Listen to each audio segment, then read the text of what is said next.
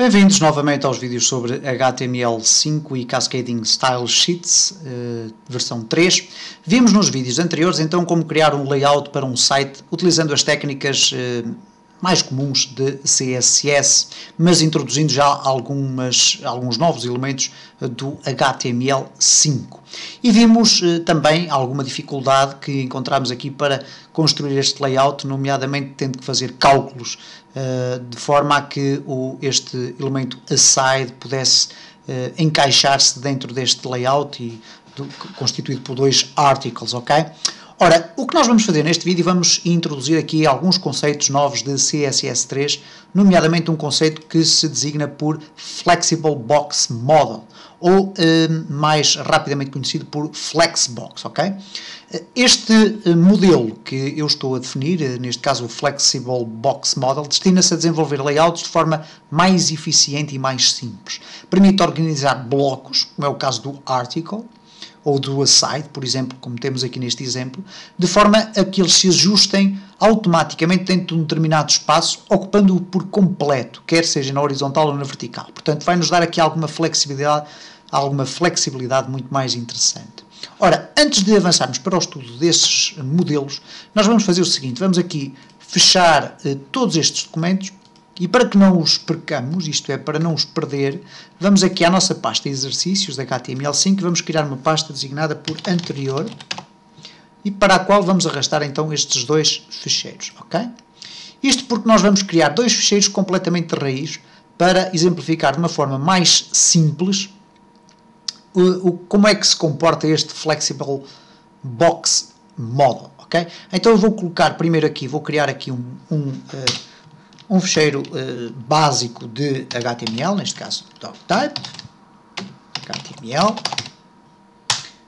HTML, HTML, ok, estou então a criar aqui uma estrutura muito simples, neste caso head, o head está criado, depois o body, ok, eu já sei que coloquei ali uh, uma uma barra a mais, ok, muito bem. Vamos já criar aqui o chamamento para o fecheiro de Cascading Style Sheets que nós vamos criar aqui. Ok, vamos criar aqui um fecheiro CSS que se vai designar por main e vamos já aqui definir até uh, uma, algumas propriedades, neste caso para todo o site, que será o pathing 0px e o margin 0px para colocar a zeros, eu coloquei 0, coloquei O Okay? Para colocar a zeros, então, todos os elementos que já contêm por defeito estes valores de pathing e de margin. Ora, ainda não vamos gravar. Ok, vamos aqui colocar então link relation igual a style sheet uh, type igual a text barra css e o href igual a e vou chamar main.css, ok? E portanto este vai ser o nome do uh, ficheiro. Ora bem, vamos gravar então isto aqui, vamos gravar como index, neste caso 1.html, e vamos gravar este como main.css, ok? Ora, isto significa então que eu tenho aqui já a minha página, vamos colocar aqui um p, texto, só para testar se a página está a funcionar corretamente, ok? Vamos aqui fazer Run, Launch in Chrome, e cá está o texto a funcionar, ok? Portanto, não temos ainda nada uh, especificado, nada que seja importante relativamente ao, ao, ao HTML5 ou Cascading Style Sheets, no entanto, vamos aqui já criar uh, o uh, ambiente que nos vai permitir testar este Flexible Box, Box Model, e para isso vou precisar de um div, ao qual vou atribuir um ID de caixa, ok? Vou fechar o div. Dentro deste div eu vou criar, para começar já, dois articles, ok? Article barra article eu vou dar aqui um ID igual a artigo artigo 1 e vou-lhe colocar aqui então eh, um texto, neste caso com um parágrafo este é o texto do artigo 1. Ok. E depois vamos colocar aqui um artigo 2. este é o texto do artigo 2, ok? E vamos ver o que é que acontece neste caso. Cá temos então os dois artigos, e eles não têm ainda nenhum CSS ou nenhum, eh, nenhum estilo atribuído, então vamos aqui atribuir article.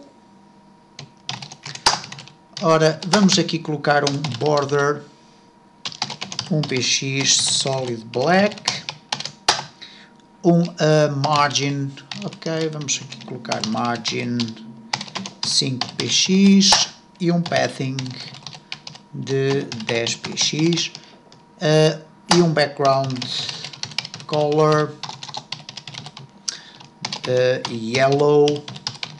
Ok, vamos ver o que é que acontece. Então, cá temos então já os nossos artigos uh, com alguma formatação CSS, vamos no entanto aqui, antes disto, vamos chamar pelo seu ID, através de um ID selector, o caixa, e caixa estamos-nos a referir então ao nosso div, e neste caso vamos também definir um border, neste caso 2px, solid red, para identificarmos claramente qual é o border, ok? Uh, e penso que temos aqui então tudo isto definido, vamos aqui atribuir-lhe ainda um margin, margin de 20px, para termos uma margem a toda a volta e cá está então o nosso div. Portanto, por este vídeo vamos ficar por aqui na construção deste espaço que será o de, do exercício que vamos apresentar a seguir no próximo vídeo e que fala sobre Flexible Box Model.